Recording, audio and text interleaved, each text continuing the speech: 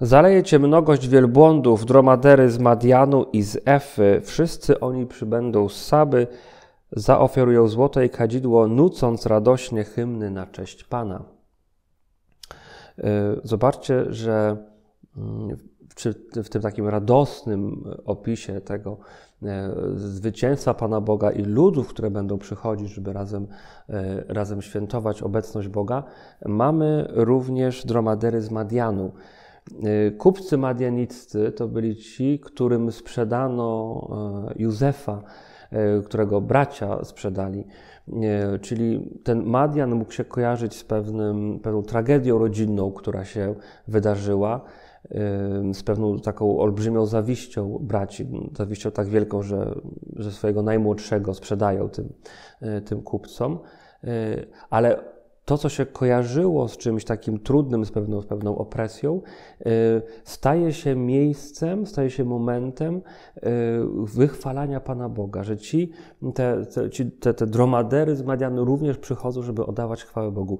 W jakiś tajemniczy sposób y, Pan Bóg działa tak, żeby to, co może nam się wydawać, kojarzyć, czy możemy pamiętać jako trudne, przez Boże miłosierdzie, przez Boże działanie, Pan Bóg będzie chciał przyprowadzić do tego, żeby ostatecznie, również przez to, co trudne, żebyśmy Go również wychwalali Boże miłosierdzie.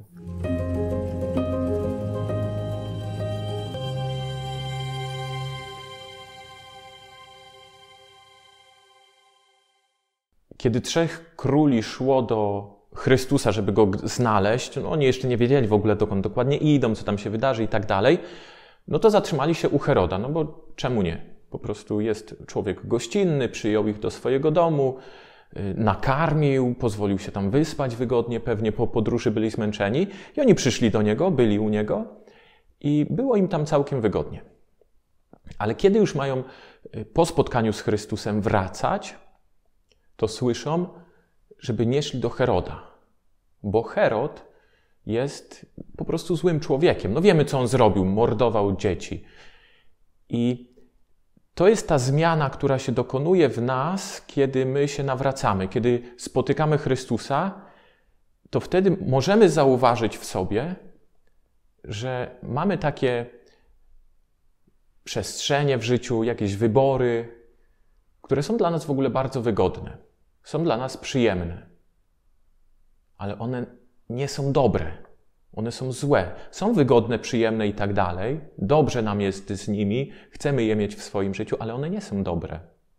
Dzięki spotkaniu z Chrystusem możemy to zobaczyć. I dzisiaj tak spróbujmy tak praktycznie, jak, tych, y, jak ci mędrcy, pomyśleć, co jest moim Herodem, do którego nie powinienem już wracać. Czymś, do czego się przyzwyczaiłem, wygodnym, ale do czego nie powinienem już od dzisiaj wracać. Gdyby nie wsparcie naszych patronów, ta seria nie mogłaby powstać. Dziękujemy.